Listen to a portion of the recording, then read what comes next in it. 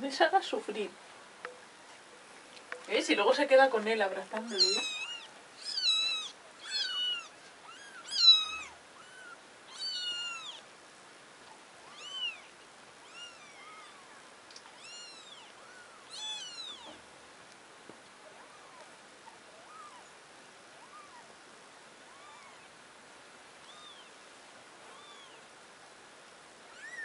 Pues ya se mueven, ¿eh? Y dentro de unos días ya se sal- saldrán de ahí saltando.